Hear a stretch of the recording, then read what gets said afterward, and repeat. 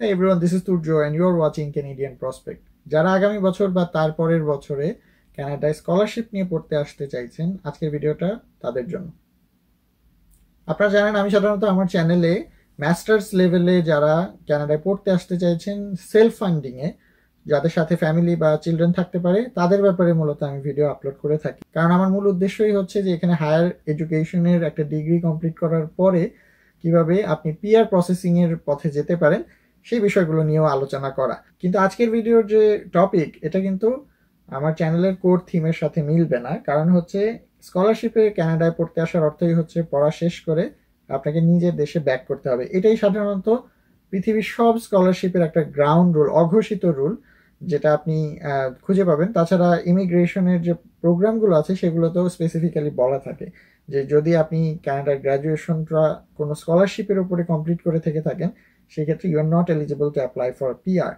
after graduation তো এরকম কিছু রুলস অ্যান্ড রেগুলেশন আছে যে কারণে আপনার যদি পিআর এর উদ্দেশ্য থাকে আই উড রাদার সাজেস্ট যে এই ভিডিওটা আপনার জন্য না। তো এই ভিডিওতে মূলত আমি কথা বলব স্কলারশিপ আপনি কীভাবে খুঁজে পাবেন যেটা আপনার জন্য অ্যাপ্রোপ্রিয়েট কারণ পৃথিবীতে এত স্কলারশিপ আছে স্কলারশিপ খোঁজাটাই একটা টিডিএস টাস্ক আপনি যখন শুরু করবেন তখন বুঝতে পারবেন যে কয়েক হাজার, কয়েক লক্ষ স্কলারশিপ আছে পৃথিবীতে। আপনাকে আগে খুঁজে বের করতে হবে কোন স্কলারশিপটা আপনার জন্য। সেই কাজটা কীভাবে করবেন সেটার প্রসেসটা নিয়ে আজকের ভিডিওতে কথা বলব। So don't go anywhere stay tuned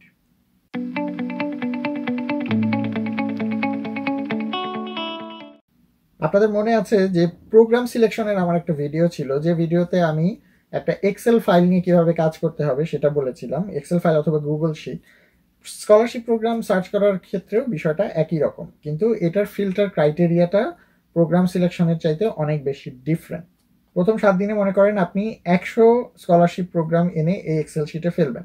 এরপরে শুরু হবে হচ্ছে এটাকে ফিল্টার আউট করা। কীভাবে ফিল্টার করবেন সেটাই হচ্ছে আজকের ভিডিওর মূল বিষয়।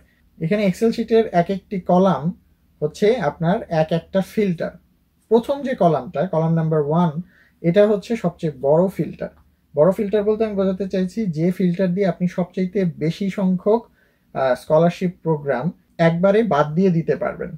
এখানে কিন্তু স্কলারশিপ প্রোগ্রাম খুঁজে বের করার সবচাইতে বড় টেকনিক হচ্ছে আপনাকে স্কলারশিপ প্রোগ্রাম বাদ দিতে হবে। খুঁজে পাবেন পরে লাস্টে খুঁজে পাবেন, কিন্তু অসংখ্য প্রোগ্রামের মধ্যে থেকে এটা খড়ের গাদা সুই খোঁজার মতন আপনাকে আগে শুরু করতে হবে বাদ দিয়ে। প্রথম কলামটা আমি রেকমেন্ড করব প্রোগ্রাম দিয়ে আপনি ফিল্টার করুন। অর্থাৎ আপনি কি আন্ডার গ্র্যাড লেভেলের স্টুডেন্ট নাকি গ্র্যাজুয়েট লেভেল মানে মাস্টার্স নাকি পিএইচডি বা ডক্টরাল এই ফিল্টার ক্রাইটেরিয়াটা আপনাকে হেল্প করবে সবচেয়ে বেশি সংখ্যক প্রোগ্রাম একবারে বাদ দিয়ে দেওয়ার জন্য। ধরুন আপনি আন্ডার গ্র্যাডে পড়ছেন এখন বা আন্ডার গ্র্যাডের স্কলারশিপ খুঁজছেন। সেই ক্ষেত্রে মাস্টার্স লেভেল অথবা পিএইচডি লেভেলের যে প্রোগ্রামগুলো আছে, সেগুলোর আসলে কিন্তু আপনার কোনো প্রয়োজনীয়তা নেই। ধরুন আপনি প্রথম কলামের স্কলারশিপ প্রোগ্রামগুলোকে ফিল্টার করলেন মাস্টার্স ডিগ্রি প্রোগ্রামের জন্য। এখন আসেন দ্বিতীয় কলামে কি লিখবেন? আমি ইনফ্যাক্ট দ্বিতীয় কলাম না, শুধু এখানে এরপরে চারটা কলাম নিয়ে একবারে কথা বলব। আপনাদের একটা বিষয় জানা আছে হয়তো পলিটিক্সে খুব পপুলার যে ব্যক্তির চাইতে দল বড়, দলের চাইতে সমাজ এবং সমাজের চাইতে দেশ। এই যে একটা পিরামিড, এটা কিন্তু আপনি এই স্কলারশিপ প্রোগ্রামে সার্চের ক্ষেত্রে কাজে লাগাতে পারেন জাস্ট পিরামিডটাকে ফ্লিপ করে দিবেন।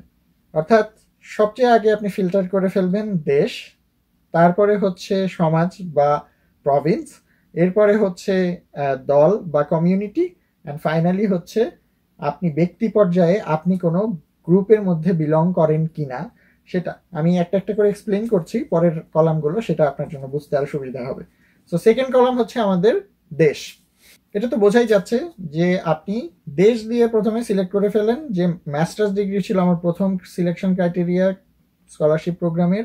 এখন আমি সেকেন্ড ফিল্টার আউট করে দিচ্ছি। ধরুন আমি ক্যানাডার স্কলারশিপগুলো দেখতে চাইছি। বাকি যা দেশগুলো আছে, যতগুলো দেশের স্কলারশিপ অফারিংস আছে, এগুলো সবগুলো ফিল্টার আউট হয়ে যাবে।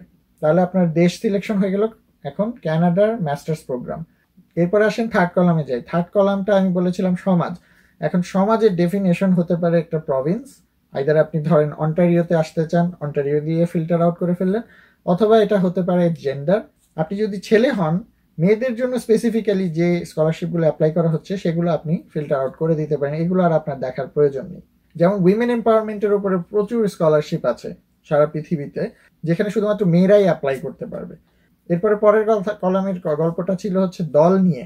তো এখন আরও ছোট হয়ে এসেছে। দলের গল্পটা আসলে বোঝাই সেটা হচ্ছে হলো প্রোগ্রাম বা এরিয়া অফ ইন্টারেস্ট অথবা ফিল্ড অফ স্টাডি অর্থাৎ ইঞ্জিনিয়ারিং পড়বেন, নাকি হিউম্যানিটিস পড়বেন, না মেডিসিন পড়বেন নাকি পাবলিক হেলথ নিয়ে আপনি পড়তে চাইছেন, সেটা হচ্ছে গিয়ে আপনার ফোর্থ কলাম তো এখন আমরা মোটামুটি একটা লিস্ট পেয়ে গেছি যে ধরনের লিস্টে আমার স্কলারশিপের এরিয়া অফ ইন্টারেস্টের প্রোগ্রামগুলো থাকতে পারে।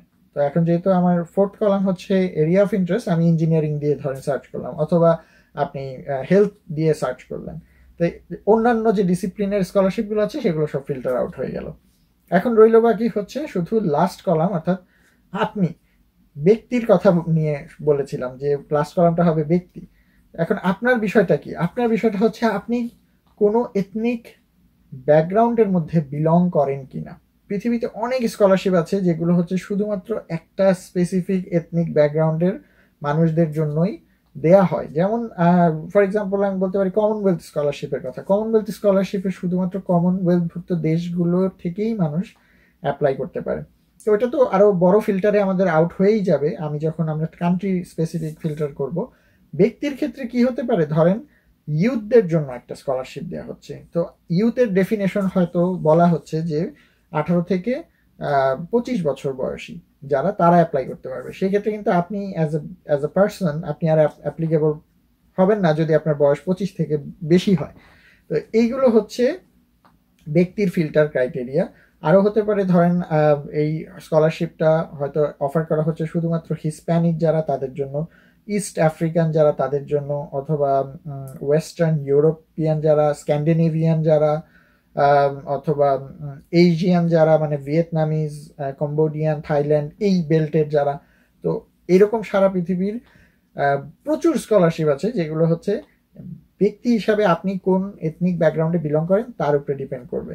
সো এখন আপনি যদি দেখেন যে আপনি যদি এক হাজার স্কলারশিপের প্রোগ্রাম নিয়ে এই সার্চটা শুরু করে থেকে থাকেন, এখন আপনার হাতে খুব বেশি হলে পাঁচ থেকে দশটা স্কলারশিপ প্রোগ্রাম থেকে যাবে, যেগুলোতে আপনি অ্যাকচুয়ালি অ্যাপ্লাই করতে পারবেন। বাট সবচাইতে ইম্পর্টেন্ট যে কলামটা, সেটাই হচ্ছে সবচেয়ে শেষের কলাম। সেটা হচ্ছে ডেডলাইন এগুলো কোনো কিছু এখন পর্যন্ত যা কিছু বলেছে, এগুলো কোনোটাই ম্যাটার করবে না যদি এই স্কলারশিপে অ্যাপ্লাই করার ডেডলাইনই চলে যায়। ধরুন ডেডলাইন ছিল গতকালকে পর্যন্ত। আজকে আমরা এই স্কলারশিপ প্রোগ্রাম নিয়ে হাজারো যদি কথা বলি, এটা কোনো লাভ হবে না। আপনাকে আগামী বছরের জন্য হয়তো অপেক্ষা করতে হবে। সেই জন্য লাস্ট কলামটা রাখবেন হচ্ছে ডেডলাইন প্রতিটা স্কলারশিপ প্রোগ্রামে ঢুকে ঢুকে আগে সবার আগে দেখবেন যে স্কলারশিপে অ্যাপ্লাই করার লাস্ট ডেট কবে। সেই ডেটটা এই কলামে লিখে রাখবেন।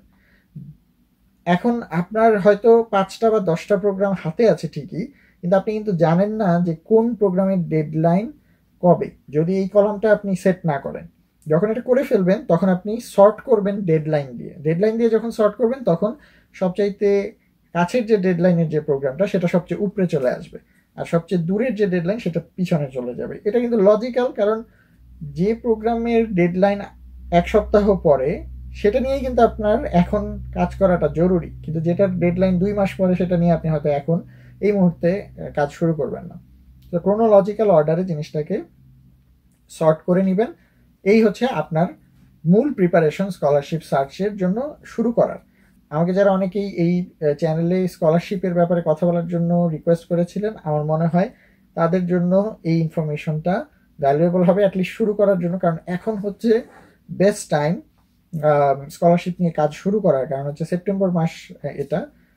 অধিকাংশ কেনেডিয়ান ইউনিভার্সিটির যে ভালো ভালো যে বড় স্কলারশিপ প্রোগ্রামগুলো আছে সেগুলো দেখবেন জানুয়ারি ডিসেম্বরের মধ্যে এগুলোর ডেডলাইন চলে আসবে। মানে এরপরে আর আপনি অ্যাপ্লাই করতে পারবেন না। অ্যাডমিশনের ডেডলাইন আপনি অনেক দিন পাবেন। হয়তো মার্চ এপ্রিল পর্যন্ত পাবেন সেপ্টেম্বর সেশনের জন্য। কিন্তু স্কলারশিপের ডেডলাইন কিন্তু বেশি দিন থাকে না। এটা অল্প কিছু দিন পরেই শেষ হয়ে যাবে।